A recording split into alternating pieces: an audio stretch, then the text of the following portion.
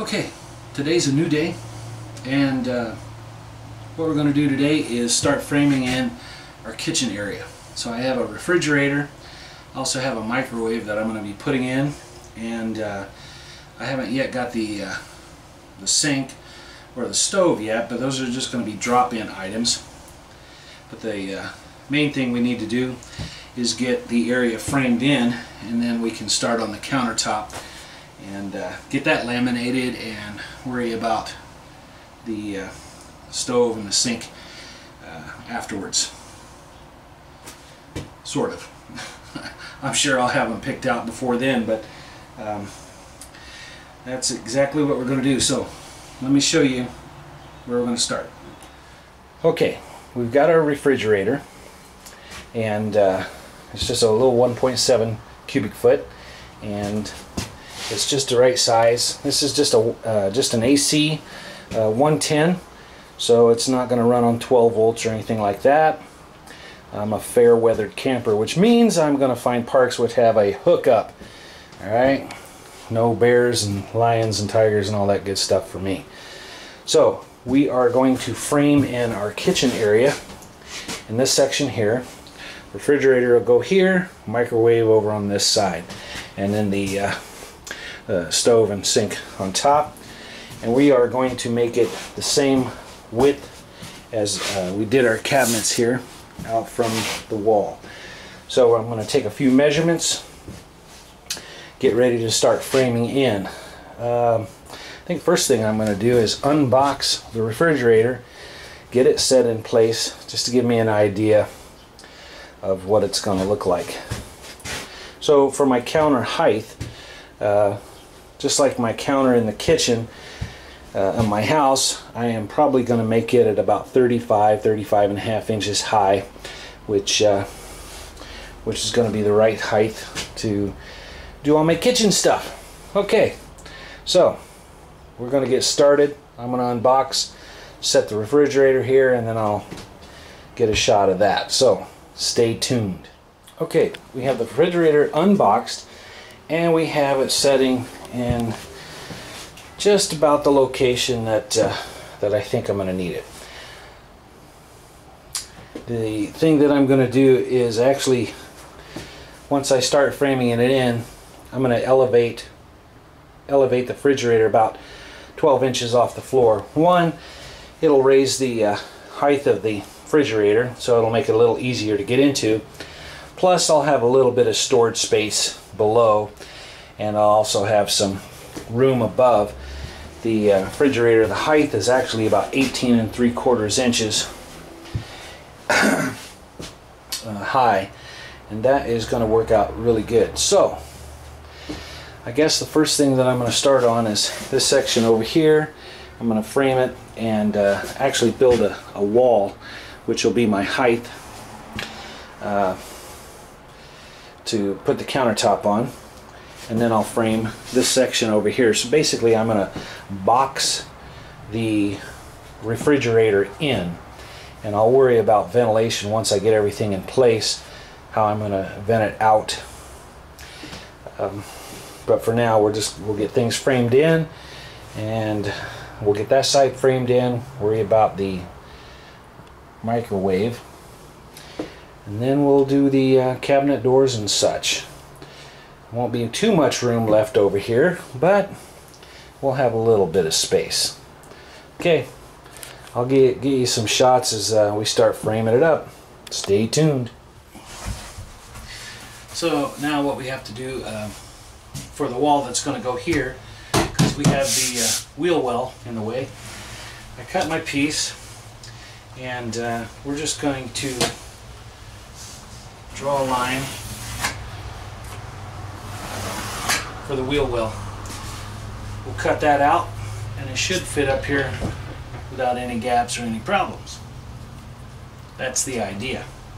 So let's get that cut and see if uh, see if it fits. All right, here's where we're at so far. So we have this wall installed and we've got our battens here framed in And we've got this wall installed also. And my next step is to fasten this brace here.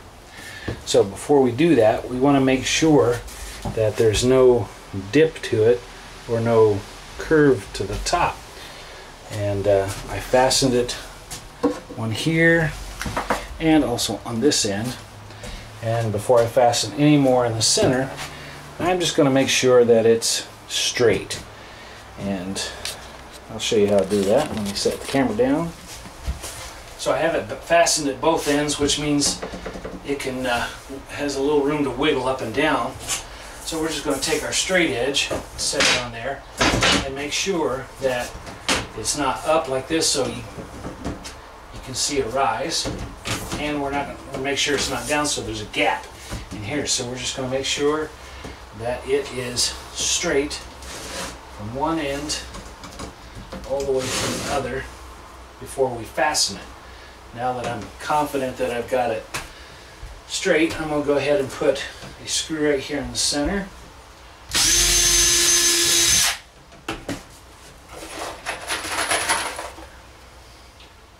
And will lock it in position. Then I can fasten it the rest of the way.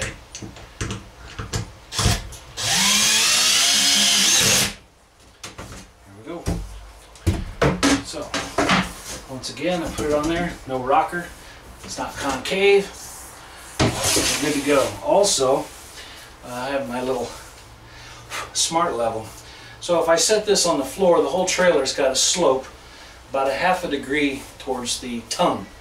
So if I set my smart level here, I should have, I should have half a degree. So so let's go ahead and get the rest of the screws installed. And I'll put them about six inches apart.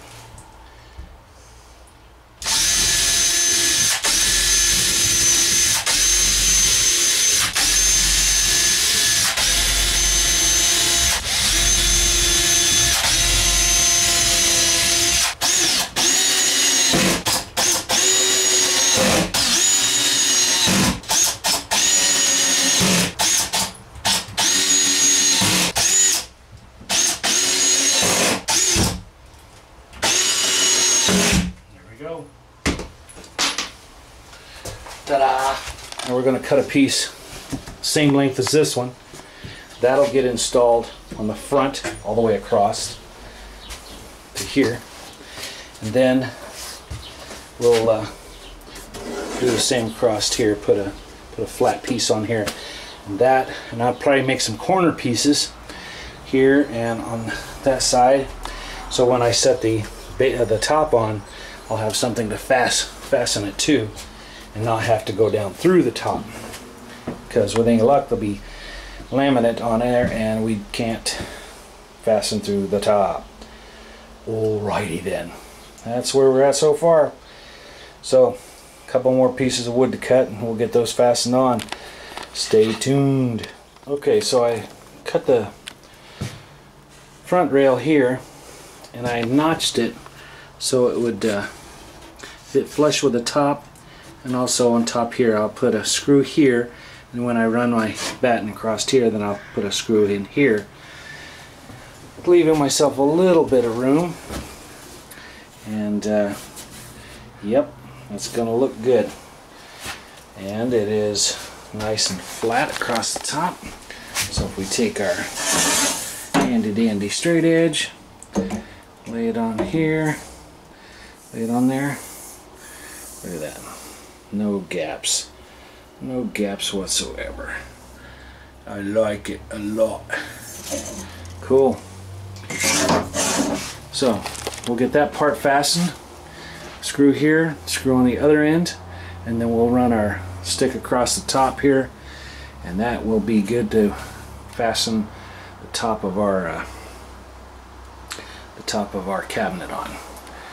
Alright stay tuned. So I drill my hole and I also countersunk it so when my screw goes on there it'll be flush with the top or just below the surface Also, we're going to run it in fairly slow because what we don't want to do is split our wood because we're so close to the end.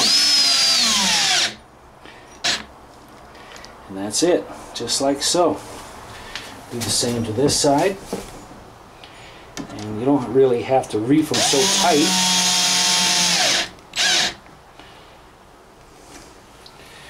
Just enough that that baby is going to hold. Yeah, just like so. Look at that. Oh yeah, good deal. Okay, now I'll cut my sticks for the ends and uh, we'll be done with that section. Okay, once again, stay tuned. Alright, so we have our sticks cut and I went ahead and run a pocket screw hole because the way that I'm going to fasten it so I'm going to put it here and on the inside right there and I'm going to run a drill bit excuse me a screw. I'm going to put a screw in here fasten it and then I'm going to use a screw here to fasten it this way and then I'm going to put staples on the outside this way. And for these two pieces we are going to use a little bit of glue so we've got our Titebond, tight bond 2, which uh, I have used for for decades. This stuff's pretty good. I've never yet had it fail on me. So I uh, tend to, this is my go-to glue. Alright, so I'm going to put a little bit on the back edge right along here. I'm going to put along the end grains here and I'll probably rub that in just a little bit just so it doesn't run everywhere. Call that good, like that. That's looking pretty good. Smear the sides here just a little bit. And I'm not using a whole bunch of glue. I just want enough that the uh, that it's not going to slip on me or move later on. So we're going to put that in, put this in, and lock it down. Right. A couple of my little quick grips. Put one here on this end. Make sure everything is nice and flush. Oh yeah, And also on this end, making sure I don't get into the pocket hole bit here. So, as I go to do my pocket hole, first thing I'm going to do is I have a long bit that I'm going to pre-drill. I better move my just a hair. Pre-drill right here.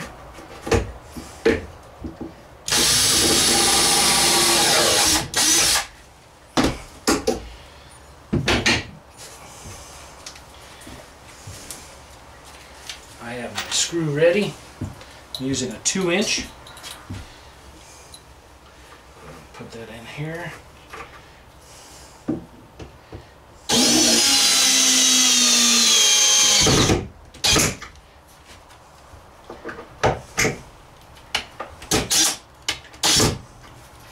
And my clamp back on.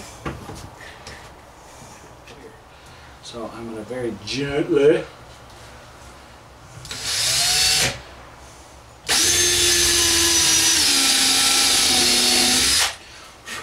sink it just slightly.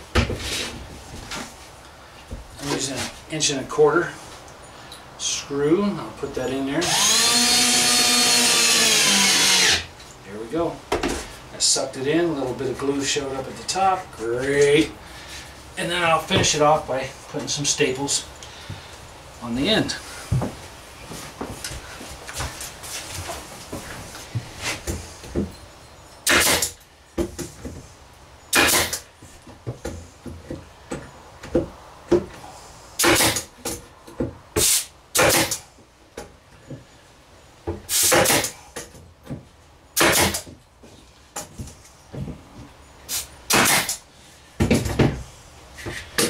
Clamps off.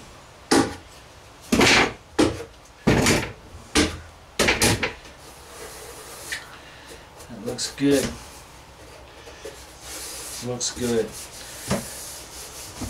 And like I said, I'll put some corner braces on here.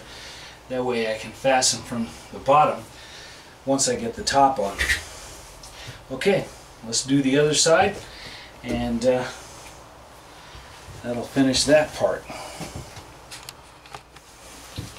Okay, same as we did with this side. Now we'll do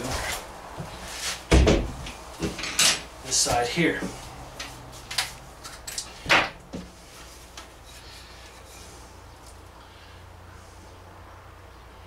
Just a little bit will do it.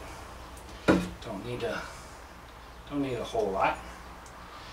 And then we'll take and run that in a little bit.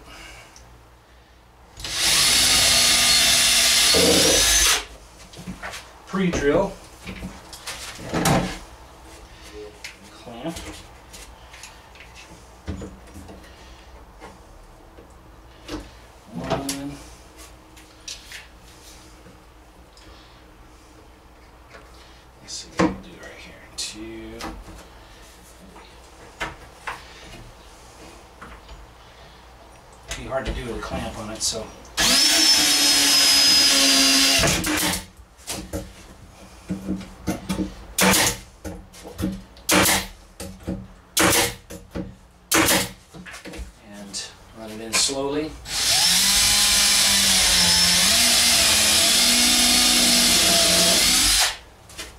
and countersink it just slightly.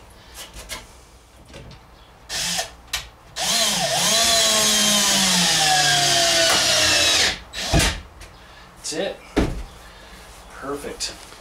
So we installed the sides. We went ahead and put our wood all the way around the edges, down the side, up here on along the edge, and I left it three quarters of an inch long here. And the reason why is just like we did on our cabinets, we're going to put that face on here and then we'll uh, put our plywood on and do our, our routing. So I left three quarters of an inch so when our face goes on, this will be flush with the uh, front of the the face. It's going to look just like that. And it'll be nice and flush all the way up and down on both sides. And it'll do the same on the ends here like that.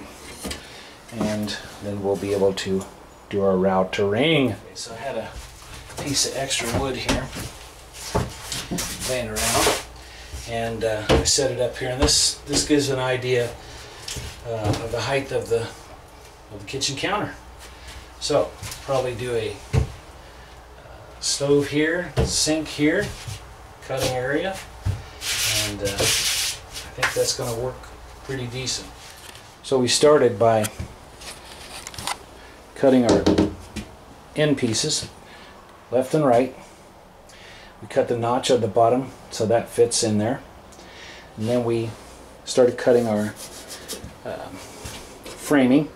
So all the way over the floor, from the floor up against the wall, all the way across the top. And uh, we ran the back piece here. That's where the where the uh, top is going to set on. And we've also got the, the face on here too, the brace. And like I said, we're going to run some corner pieces across here on all four corners. So we'll be able to fasten the top from the bottom uh, when that's ready to be installed.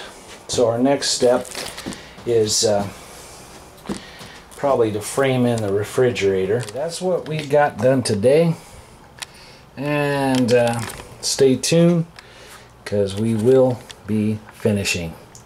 Alright, thanks for watching. Hey, hit the like button. Don't forget to subscribe. Stay tuned.